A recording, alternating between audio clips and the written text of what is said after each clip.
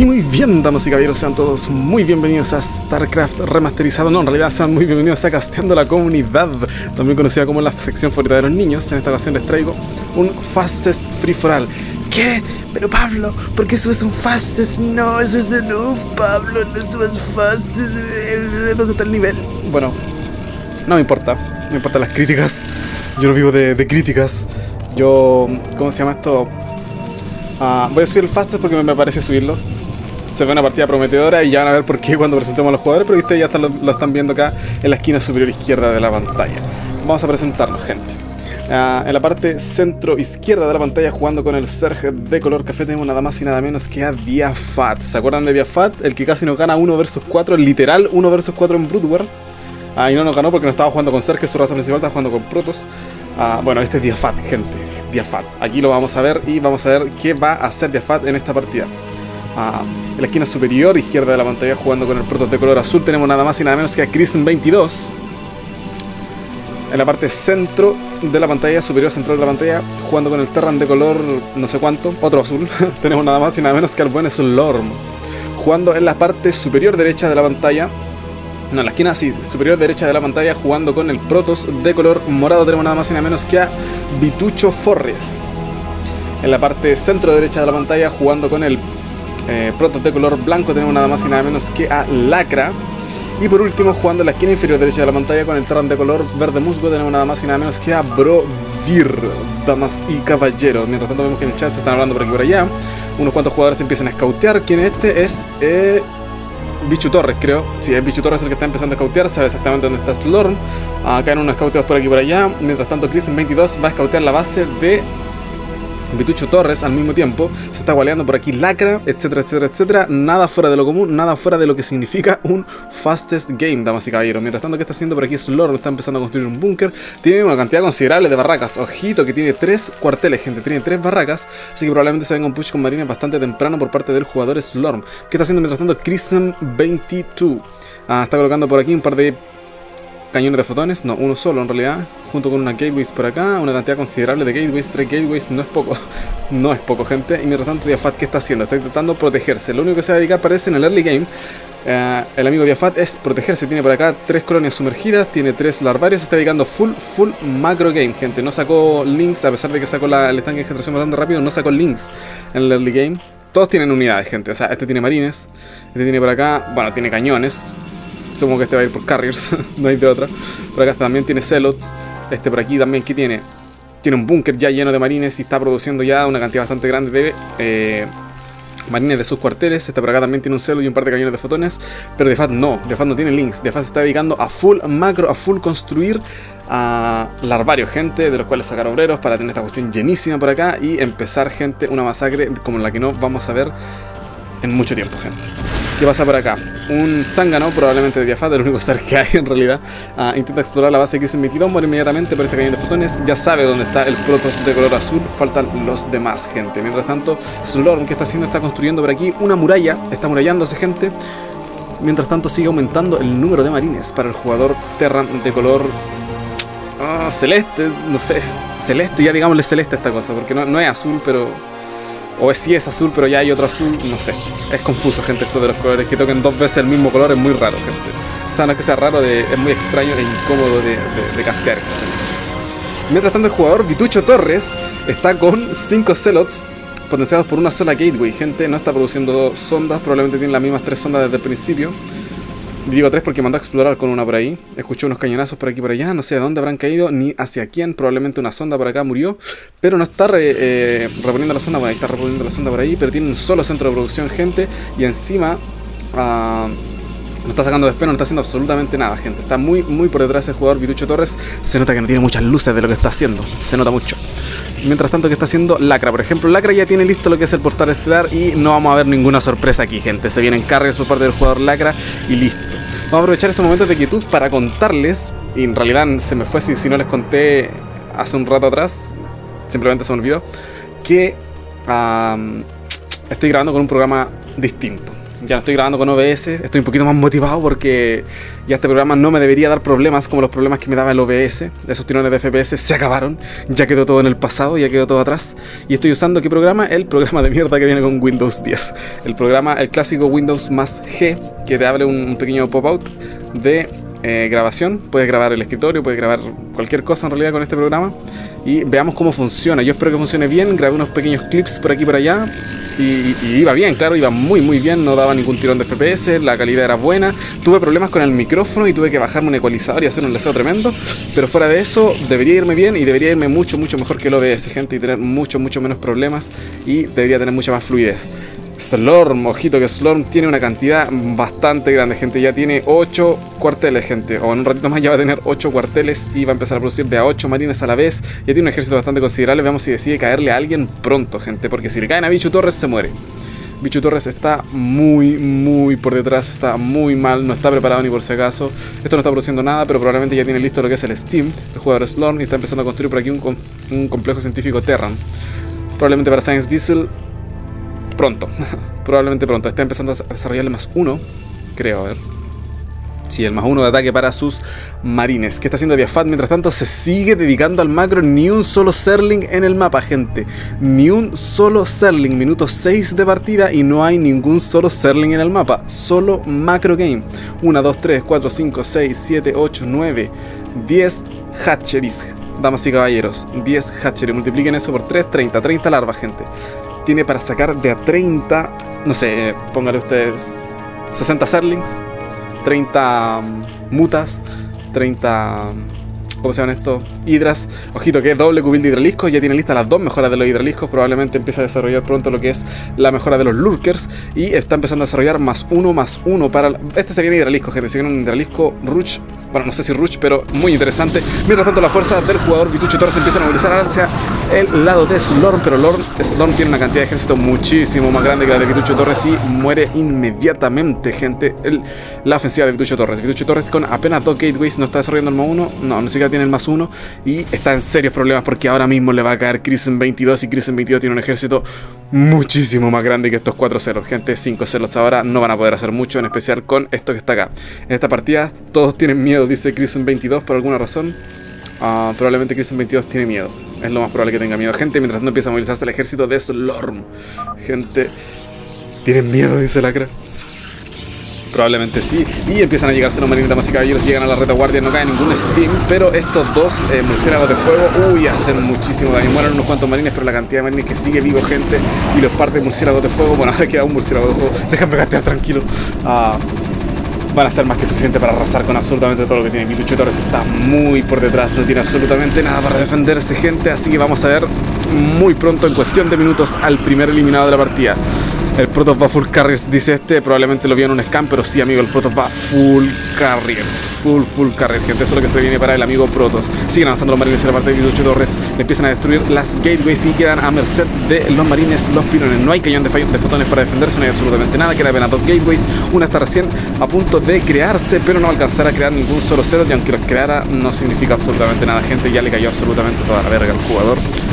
Pitucho Torres, el cual no tiene absolutamente nada más que hacer que decir GG y largarse. Pero miren la cantidad de sondas que tenía, tenía muy pocas sondas, gente. Le ha puesto que Diafat, por ejemplo, acá tiene por lo menos por lo menos sus 50 de supply, más de 50, debe tener como 70 eh, obreros acá en puro, 70 de supply acá en puro obreros y los otros 30 los debe tener en los vespenos. Ah, no, no, también tiene, también tiene hidralisco, no había visto el hidralisco. Bueno, tiene hidraliscos ahora, gente. Mientras tanto, Sloan sigue sellando la base del buen Vitucho Torres, el cual se quedó sin sondas, el cual lo único que le queda es este nexo para simplemente largarse de la partida y decir GG porque no tiene absolutamente nada más que hacer. Muy bueno el push. Se cometieron errores, sí, pero se acaba de eliminar a Vitucho Torres y tenemos nuestro primer eliminado de este Fastest Free for All. Damas y caballeros, eliminatres, dice Slorm. Y tira el XD como riéndose así. Gente, ¿escuché por ahí algo? Sí, escuché un scam por ahí y escuché también que estos cañones de fotones acaban de asesinar un super amo del jugador de Fire dejaron con bloqueo de suministro más encima. Pero no solo para Guaso crea como 5000 más por la enorme producción que tiene gente y no significa absolutamente nada para el maldito Fat que tiene una cantidad muy, muy grande de hatcheries, una cantidad de larva muy, muy grande y una economía también bastante prometedora, gente. Prometedora para este Fastest Free for All. Sin embargo, Slorm se empieza a posicionar en la mitad del mapa, ya tiene sus fuerzas bastante listas y dispuestas y parece que le va a caer a Diafat, gente. Parece que le va a caer a Diafat. Si de todas maneras le va a caer a Diafat, empiezan a organizarse las fuerzas de Slorm. Ya cobraron la primera víctima y ahora se viene la segunda, gente. Ay, lo siento. Menos mal que no pasó nada, gente, lo siento. Parece que es Lorm, al escuchar mi tos, decide simplemente irse de la base de Diafat y empezar a caerle a Lacra. Sin embargo, aquí no lo va a pasar mucho mejor porque aquí hay una cantidad enorme de portanaves y le van a caer a estos marines. Cae un Defense Matrix encima de un marine, el cual instantáneamente de todas maneras. Y siguen masacrándose gente, siguen muriendo como perros los marines del jugador Storm. Siguen llegando marines, pero a medida que van llegando van muriendo el Defense Matrix no sirvió absolutamente para nada y parece que la victoria de este Engage se la va a llevar el jugador Lacra y sus carriers, gente, porque ah, no fue bueno el push, gente, no fue, no fue bueno el push, a menos que tengas una cantidad igual de navíos científicos a la de marines y le puedas colocar un Defense Matrix a cada marine. Ah, no les veo mucha posibilidad a estos marines con apenas más uno de ataque en contra de estos portanaves, gente. Ni siquiera con micro, ni siquiera con buen micro, gente. Eh, la superioridad tecnológica es muy bestial. Eh, en contra del jugador Storm, el cual está sufriendo y ya se le vienen a caer encima las cargas. Pero llega al momento el jugador de Fat por la espalda del jugador Lacra y le van a llegar con una cantidad enorme de hidraliscos, más uno más uno, con rango, con velocidad de movimiento, con micro, con absolutamente todo. Y Lacra no puede hacer absolutamente nada y tiene que retroceder y colocarse detrás de estos cañones de fotones y apoyar obviamente a los cañones de fotones para que no le vuelen esta pequeña barricada que tiene atrás. Le caen con marines, le caen con hidraliscos, le caen con absolutamente todo el jugador Lacra. Veamos si va a lograr eh, resistir la presión unos cuantos marines seres van a lograr tirar por aquí el portanaves. Logran tirar uno de los portanaves, gente. ¿Cuántas vidas se perdieron? ¿Unos 100 de suministros del jugador Ternan en marines? Para matar un portanaves no vale la pena ni por si acaso, gente, ni por si acaso es hora de transicionar. Sin embargo, Diafat ya empieza a destruir absolutamente todo lo que está en la entrada de Lacra, gente, y le cayeron con una cantidad enorme de hidras. Ya no quedan cañones de fotones para defender. Empieza a colocar desesperadamente cañones de fotones por acá al jugar Lacra, pero ya no quedan gente, no queda absolutamente nada, y lo que menos tiene es tiempo, porque ya están llegando gente los hidraliscos. Y miren, este es un torrente non-stop de hidraliscos, damas y caballeros, y los hidraliscos ya son cosas serias, gente, resisten bastante más que los marines, pegan bastante más que los marines, gente, y no son presa fácil ni por si acaso para esta cantidad de carriers y la producción, gente, que decir de la producción. Pero del otro lado, el mapa ojito aquí cayó un drop de eh, el jugador Crimson 22, probablemente fue un más rical que le cayó por acá, intentó hacerle un poquito de daño a la colmena de Diafat, pero Diafat tiene producción de sobra para defenderse por semanas. Coloca por aquí unas cuantas colonias de esporas y probablemente era un árbitro que dio su vida para eso, pero de todas maneras Diafat ya logró penetrar a la base del jugador Lacra, le cayó con absolutamente toda una cantidad muy grande de hidraliscos en la base, gente de Lacra, y no se ve bien. ¿Dónde están las carres? Lacra acaba de abandonar la partida, gente. Ya tenemos nuestro segundo eliminado a manos de eh, Biafat. Por aquí se encuentra el engage entre las fuerzas Terran de Slorm y los eh, hidraliscos de Biafat. Veamos qué va a pasar por aquí. Parece que eh, no se ve muy bueno el engage por parte de Biafat porque tiene un concave bastante interesante el jugador Slorm. Sin embargo, la superioridad, superioridad técnica de los marines con Steam y con médicas aquí eh, apoyándoles le está dando una victoria, pero muy, muy aplastante encima de los hidraliscos. Miren cómo van cayendo los hidraliscos, van cayendo también a la par los marines, gente. Esto se ve muy, muy interesante, no los voy a mentir. A medida que van llegando los hidraliscos, van muriendo. A medida que van llegando los marines, también van muriendo. Parece que no hay Steam, gente. No escucho el Steam por parte de los marines. Ahí escuchar el Steam, gente, y van a empezar a morir, pero absolutamente como perros todos los hidraliscos. El concave, muy bonito por parte de Slorm, gente. Está asesinando absolutamente todo el ejército de Biafat. Miren cómo van cayendo los números de damas y caballeros, pero a medida que van cayendo, también van subiendo porque la producción y el nivel de larva que tiene Slorm es brutal, gente. Y perdón, Diafat. El nivel de producción que tiene Diafat es brutal. Perdió absolutamente todos sus uh, hidraliscos. Pero miren lo que les tengo acá, gente. Ya está reponiendo absolutamente todos los hidraliscos que perdió. Porque tiene una producción muy buena gracias al macro game que se dedicó a hacer en el early. Así que tiene, tiene, tiene con qué hacerlo. Pero tanto que en 22 decide por alguna razón expandirse en la parte inferior del mapa, en un fastest. No creo que esto signifique una mejora significativa para su economía, pero qué sé yo. Empiezan a movilizarse las fuerzas de Slorm. ¿Qué tienen estos marines? Ya tienen más 2 más 1. Los marines empiezan a darse contra las colonias sumergidas. No les está yendo muy bien, están perdiendo bastantes números. Sin embargo, ya empiezan a llegar los hidraliscos, damas y caballeros, y los hidraliscos. ah, perdieron batallas por aquí y por allá, pero ya los números de los marines no están muy bien eh, considerados, gente. Ya saliendo de este choke point, los hidraliscos tienen la ventaja sobre los marines porque ya no tienen el concave y han muerto en número, pero en cantidades bastante grandes, damas y caballeros. Así que lograron salir del encierro las unidades de Biafat y ahora se empiezan a movilizar hacia el lado de Slorm. Querrán la venganza, probablemente hay apenas dos tanques así para defender este posicionamiento del jugador Slorm. Unos cuantos marines por aquí y por allá no van a ser suficientes en contra de la enorme cantidad gente de hidraliscos que tiene Biafat y que le está cayendo en toda la carita a Slorm. 200 de suministros, apenas se vacía el suministro, sube, así como sube bajando, miren. 191, 180, 186 y vuelve a subir a 180, gente. Pero ojito que perdió una cantidad muy grande de hidraliscos por acá de Afat. Ah, no me había dado cuenta de eso. Perdió muchísimo. Me traje viendo acá la, producción. Pero ojito que ya tiene mutaliscos y tiene además unos cuantos hidras por aquí bastante bien. Eh, bastante bien en cuanto a mejoras, gente. Más 2, más 2, más 1, más 1 muy buena la mejora, gente. Muy, muy buena la mejora. Mientras tanto, Krisen 22. ¿Qué tiene Krisen 22? Ah, tiene unas par de carries por acá, unos cuantos dragones por acá. Ningún ejército bastante considerable. Este ejército no ha sobrevivido. Si, si le hubiera caído a Krisen 22 en lugar de caerle a Slorm, habría muerto inmediatamente Krisen 22. Ah, mientras tanto, Slorm se empieza a posicionar de nuevo a la mitad del mapa. Caen por aquí unos cuantos hidraliscos. Probablemente iban a escautear o probablemente simplemente estaban. Probablemente simplemente, bueno. O, simplemente quizás estaban con el rally point eh, no, muy bien, no muy bien puesto, gente pero ya se empiezan a movilizar, damas y caballeros, los hidraliscos. Y ojito que se vienen guardianes, damas y caballeros. Guardianes hidraliscos. Ojito con la composición de Diafat, gente, porque los guardianes van a arrasar con los marines mientras los marines se dedican a pegarle a los hidraliscos. Ojito, ojito que la composición va a estar más que interesante, damas y caballeros. Empiezan a movilizarse los marines también por parte del LOL. Empiezan a llegar al choke point.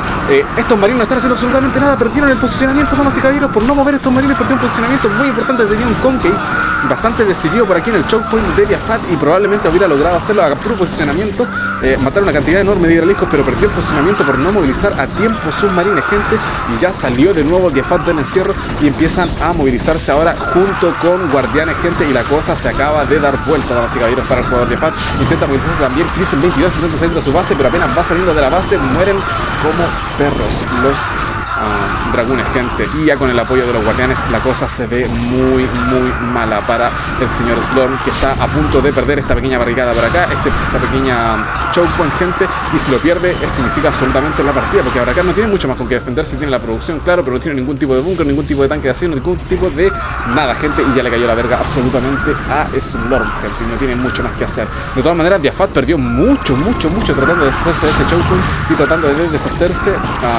de defender el claro.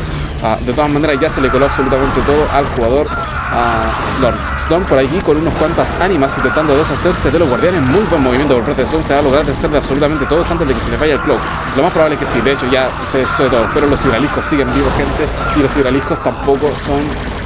Uh, para tomárselos a la ligera, gente. Y ya tiene una cantidad de nuevo considerable de guardianes en su base. Intenta hacer algo que 22 por aquí. Intenta volver a bloquear a, Diafat, intenta volver a posicionarse en el choke point, me retiro con dignidad, dice Slon, porque ya no puede hacer absolutamente nada.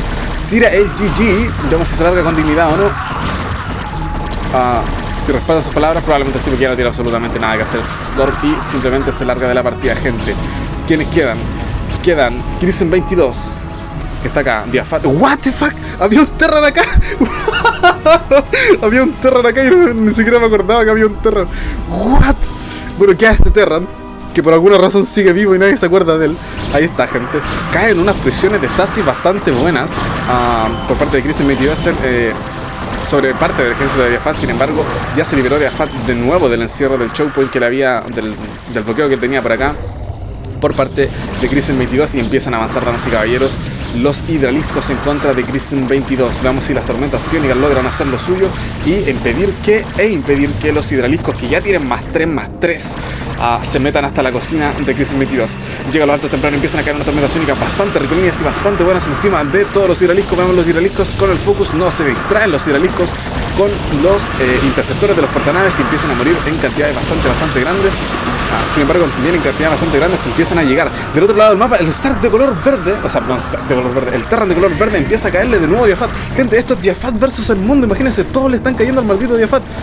Ah, se están deshaciendo de Diafat en ambos frentes, gente. Por aquí se está cayendo Crimson 22, le cayó Slorm, le cayó este de acá, le cayó también, bueno, Diafat en realidad le cayó a Lacra y se están deshaciendo, pero de todo lo que es Diafat. Pero Diafat sigue en pie con una economía arrolladora y con una producción más que arrolladora con esta cantidad enorme del armario. Ya repuso todo su ejército, tiene de nuevo sobre 150 de supply, 170 y esta cosa no se ve muy bien para los demás jugadores, gente, porque la producción de Diafat no ha sido tocada en absolutamente nada. Pero de todas maneras ya se empieza a movilizar Cris 22. Ya le caen por acá, por el frente, el jugador Brodir. Pero se empiezan a encontrar las fuerzas de Cris 22 en contra de las fuerzas del Terran de color verde. Veamos qué sucede en este enfrentamiento, gente, porque ya están en invisible. De todas maneras tiene detección um, el jugador Brodir. Y veamos qué pasa, gente. Llegan unas cuantas Valkyrias. Muy bien eh, el Tech Choice por parte del jugador Brodir. Probablemente se esperaba que vinieran... Eh, portanaves, gente, y Skytos, por así decirlo, y las Valkyrias sabemos que son ridículamente buenas contra todo lo que está en el aire, gente, contra absolutamente todo lo que está en el aire. Ah, hasta ahí nomás llega el push con las eh, con los portanaves del jugador Crisen 22, decide simplemente retroceder. Mientras tanto, el jugador Diafat se empieza a posicionar justo en el borde de la entrada de su base.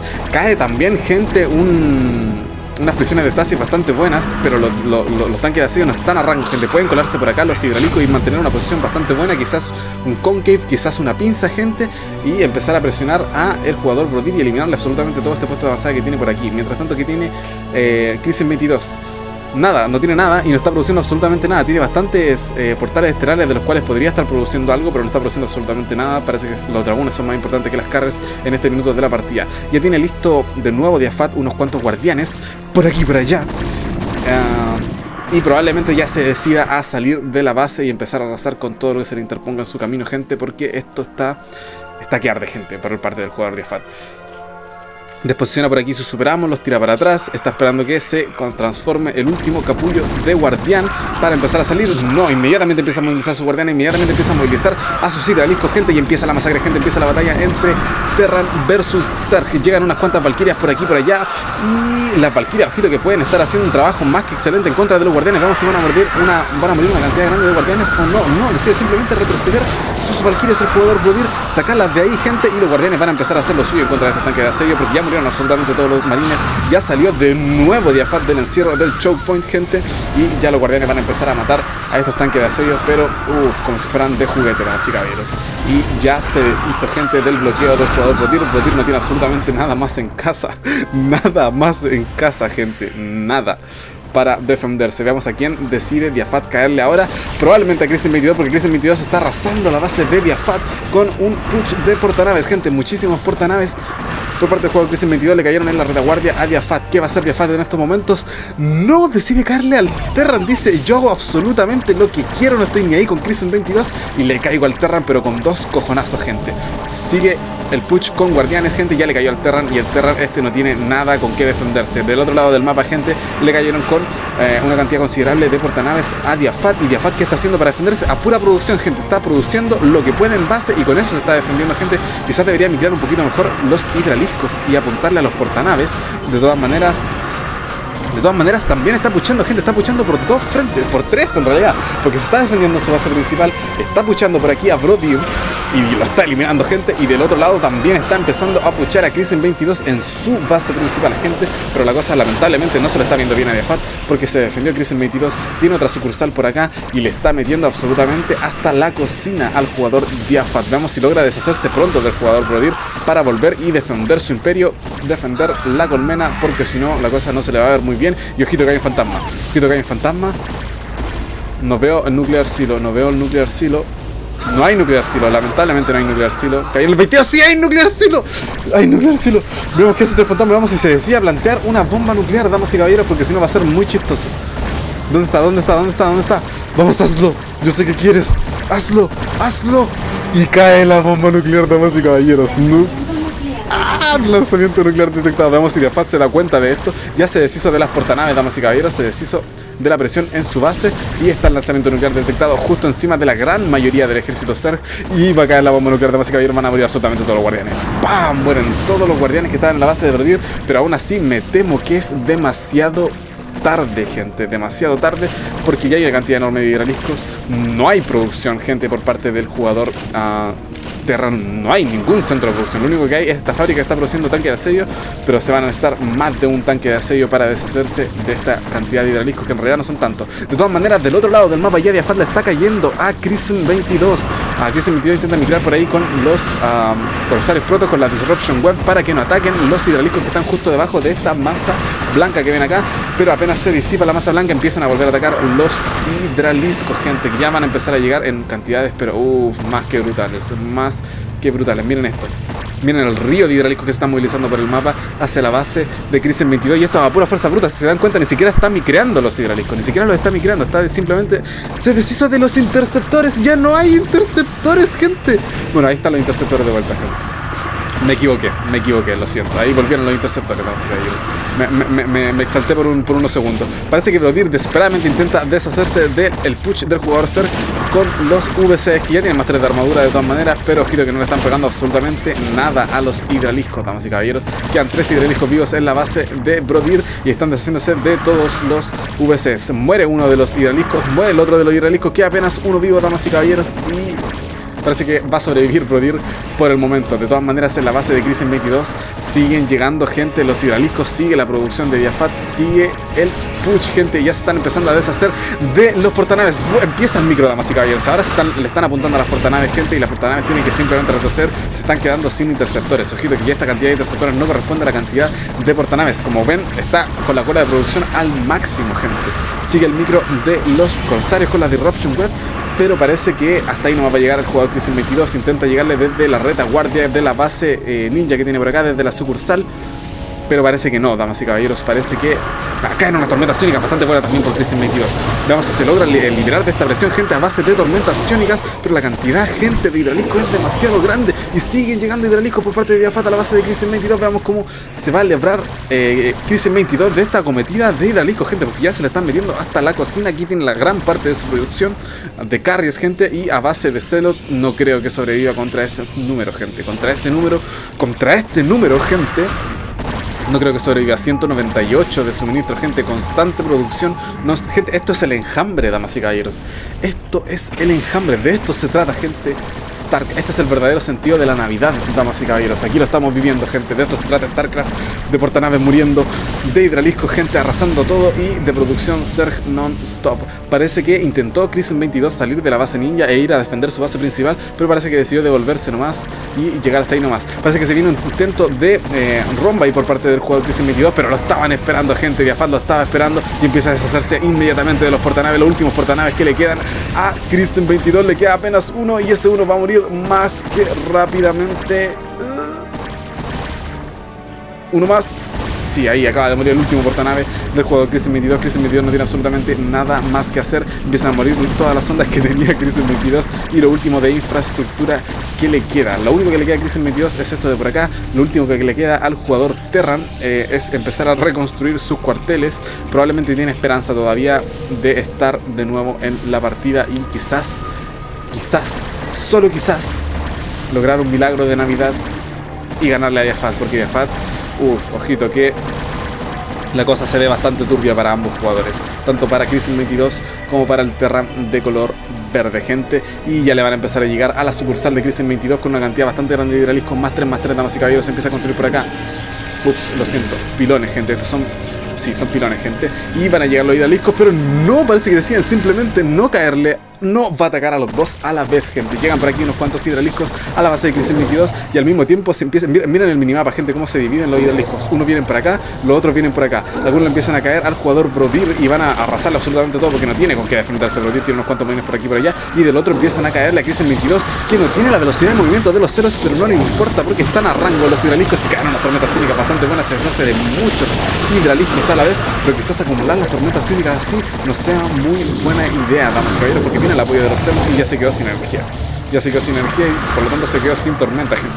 Se quedó absolutamente sin tormenta. Siguen avanzando las fuerzas del jugador Diafat y parece que van a entrar y ya se le metieron a la base a Crimson 22, damas y caballeros. Lo único que le queda a Crimson 22 por acá Ah, son unos cuantos corsarios, no le quedan eh, edificios, gente. Y también ya le cayeron a Brodir, damas y caballeros. Esto básicamente fue un 1 versus 4 a toda regla, gente. 1, 2, 3, 4. ¿Por qué este no? ¿Por qué este no mató Slorm? De todas maneras, gente, Brodir con su 100 de APM está intentando hacer lo que puede para volar sus edificios, sacarlo lo más pronto posible para evitar morir, pero no le va a funcionar, gente. Del otro lado del mapa, Chris 22 está padeciendo la ira del enjambre, damas y caballeros, y esto no se ve bien para ninguno de los dos jugadores, los cuales se niegan a rendirse, gente y se niegan a decir el inevitable GG. Crisen 22 acaba de abandonar la partida, es cuestión de tiempo para que Brodir haga lo mismo, pero el muy miserable está mandando sus edificios del otro lado del mapa pero ojito que Biafat tiene visión sobre esto gracias a este amo supremo de por acá. Sabe exactamente lo que está pasando y probablemente vaya a empezar a movilizar unos cuantos hidraliscos por acá. También tiene edificios por acá, gente, el jugador Brodir. Y quizás no sea muy buena idea mandarlos a la base de Crisis 22 porque aquí hay una cantidad mucho más grande de hidraliscos. De todas maneras, Biafat ya lo encontró, gente, porque lo vio gracias a este amo supremo. Muy buen posicionamiento de los amos supremos también por parte de Biafat y van a simplemente cuestión de buscar y encontrar y aniquilar a la fuerza del jugador Brodir, el cual no tiene ya mucho más que hacer. Damas y caballeros, esto se acaba de terminar, gente. Se acaba de terminar y es una victoria aplastante por parte del jugador Diafat, que básicamente se echó el, el enjambre al hombro y arrasó con absolutamente cualquiera que se interpusiera en su camino, damas y caballeros. Así que muy bien, eso ha sido todo por el video de hoy. Muchísimas gracias por ver. No, no olviden seguir enviándome sus replays al correo que va a estar en la descripción de este video. Muchas gracias por ver. Y nos veremos hasta la próxima.